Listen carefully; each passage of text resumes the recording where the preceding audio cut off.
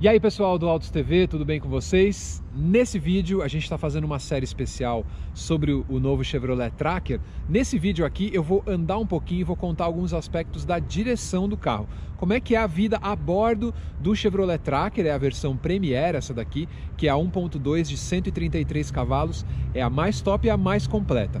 Eu vou esterçar, vou falar um pouquinho, acelerar, frear, vou contar um pouco para vocês desses aspectos, afinal Nesse tempo de coronavírus está meio difícil de fazer test drive, mas se você não conhece o carro, aproveita, veja os outros vídeos. Nesse eu não vou apresentar, eu só vou entrar no carro e vou comentar com vocês alguns aspectos da direção do Tracker Premier. Fica ligado e inscreva-se no nosso canal, deixe seu comentário e o seu like.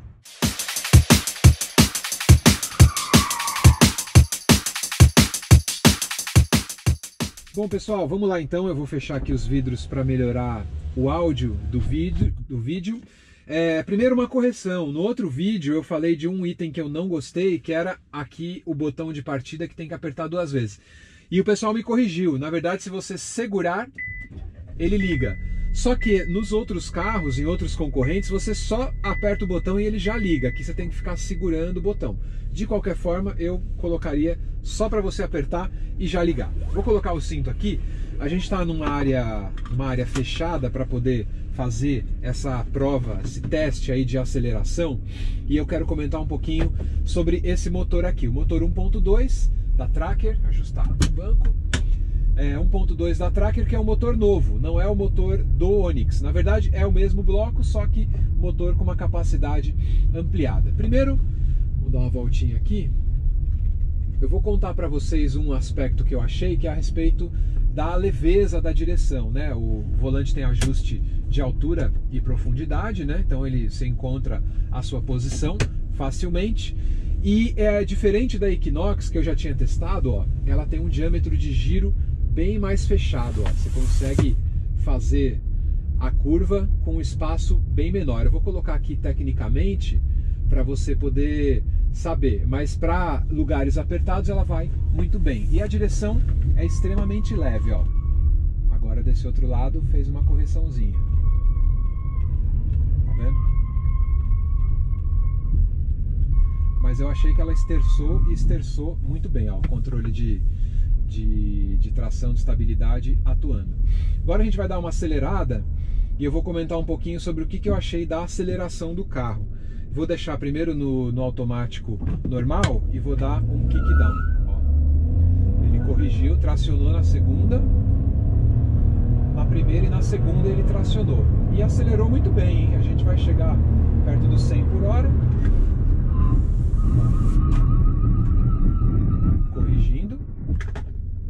corrigiu bem e, e freou bem.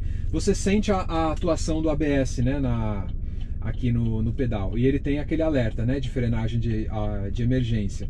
Se você tiver com algum problema numa estrada e acabou freando muito fundo, o carro vai dar esse alerta. É normal, outros carros do, do segmento também tem. A gente ficou no drive aqui. Eu achei que ela derrapou muito pouco, deu segurança na frenagem também. É, esse carro tem aquele assistente de frenagem de emergência, né? Se um carro entrar na minha frente, ele tem umas luzes aqui e essa luzinha vai acender e ele vai também fazer a frenagem. Até o HB20 tem isso, o Onix também, mas não são todos os carros que tem. Vamos alinhar aqui de novo. Em relação à potência, pessoal, você percebe que a potência dele, ela começa ali nos, nas duas mil rotações, ó. E se você acelera bem, ele faz as trocas com 3 mil rotações. Então eu acho que eles, eles, escalonar, eles escalonaram bem o motor. Ó. Ela já está a 100 por hora é, rapidamente. Dessa vez eu não freiei muito forte, mas eu quero mostrar também o modo é, de trocas manuais. Na prática, eu vou te dizer que, sinceramente, não é uma coisa que a gente usa muito, viu? Porque o carro automático é feito para praticidade, mas ele tem essa, essa possibilidade. Ele não tem shift pedal, o que não é tão legal, mas ele tem o controlezinho aqui na alavanca. Ele aparece o L, ó, L1, aí você vai acelerar, ó. Dois, aí você tem um pouquinho mais de esportividade, né? Ó, três, aí você troca como você quiser.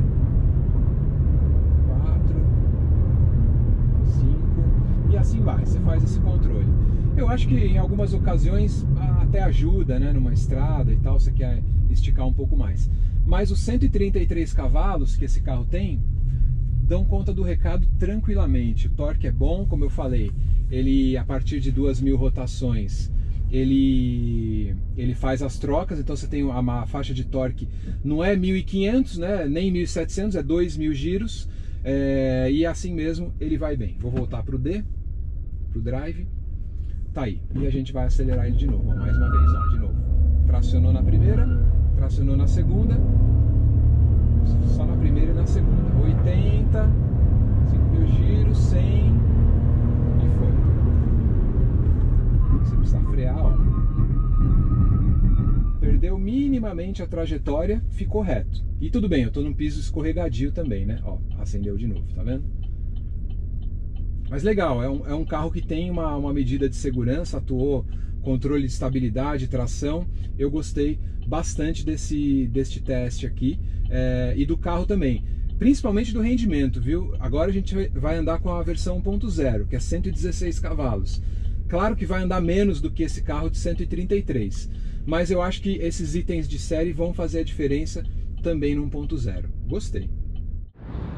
É isso aí, pessoal. Eu gostei do que eu vi. Acho que ele poderia ter alguns itens a mais que tornariam sim a frenagem um pouquinho mais eficiente, ó. Olhando e mostrando para vocês, ele tem o freio a disco aqui na dianteira, mas ele não tem o freio a disco na traseira, nem como opção e nem na versão topo de linha. Já tinha mostrado para vocês em outros vídeos que ele tem aqui um tambor, né? É um tambor cinza que você de repente de relance até parece que é um freio a disco mas não é. Apesar disso, eu achei a frenagem dele bastante segura. Um carro que tem uma estabilidade boa. Já me perguntaram sobre a estabilidade dele, ó. Vê que o pneu é um pneu bem dimensionado, é o Goodyear Efficient Grip. Eu achei esse pneu silencioso. Já andei com muito SUV e esse daqui é um Aro 17, é um 215 e eu achei ele bastante silencioso, né? Ele é bem, o suco dele é bem profundo em relação a outros, eu acho que a escolha foi muito certa desse pneu. Não é aquele pneu macio. A GM, no passado, ela usou alguns pneus muito macios na, na linha de carros é, que eles vendiam no Brasil. Deram uma melhorada nisso e esse carro tem o ABS, tem o controle de tração e estabilidade. Nessa aceleração e frenagem eu gostei bastante sim. E depois desse pequeno teste, a gente vai dar uma voltinha na rua e eu vou contar alguns aspectos para vocês de suspensão, de direção, o que, que eu achei desse carro a bordo dele. Então, fica ligado aí. Bom, e como é que ele se comporta em acelerações e frenagens aqui na cidade também? Vamos ligar aqui o carro. Agora descobri, tem que ficar ali um segundo pelo menos. Coloca no drive. Eu já falei de alguns aspectos, achei que a direção dele é bem direta, uma direção que não é, não é lerda, né? Ó, aqui a gente vai passar por uma lombadinha. Ó, apesar dessa lombadinha ser bem difícil e esse carro não ser até tão alto, percebe que ele vai bem, ó. Vou passar de ré. E agora vamos passar de frente de novo. Acho que ele também foi bem ajustado, para o nosso piso. Tem um rolou um conforto e uma absorção legal. Ele não tem aquele impacto duro né, que você vê em alguns outros carros. Aliás, em relação ao Onix, é um grande ganho. Eu achei o curso da suspensão do Onix muito curta e nesse aqui está bem ajustado. Passou das 2.000, ó, ele, ele tem a, a força maior. Mas no geral a GM calibrou bem esse motor. Eu acho que ele está bem, bem calibrado para o uso na cidade. A direção também. Achei leve, achei precisa. Ela responde bem. Geralmente alguns carros têm uma direção mais lenta, né? Ó, tá vendo o que, que ele atuou? Ele freou sozinho. Eu tava sem colocar o pé no freio e o caminhão deu uma pequena, uma leve freada que eu nem percebi e aí apareceu o alerta aí de, de proximidade, que dá para você ajustar também, mas é um, um dos itens diferenciais aqui, assim como aqui, ó, o alerta de mudança de faixa. Mesmo sem dar seta, você, ó, agora eu posso entrar. Mas mesmo sem dar a seta, ele indica que tem um carro na, na pista do lado ali. Ó. Ah, enquanto eu estou mostrando para você a nova Tracker aqui da Chevrolet, queria pedir o seu like e a sua inscrição aqui no canal, no Autos TV. A gente está fazendo um especial da Chevrolet Tracker e eu vou abordar todos os aspectos desse carro. Pontos positivos, pontos negativos, Vou falar sobre consumo, vou falar sobre suspensão, motor, do projeto, tudo que eu achei sobre esse carro. Mas vou pedir a sua inscrição e o seu like para acompanhar e ajudar o nosso canal a crescer. Buraco, buraco, buraco. É, achei que a, a, o conforto também na verdade, o equilíbrio entre conforto e precisão, acho que a GM calibrou bem nesse carro. É, potência também, acho que o ajuste desse carro foi bem feito para cá.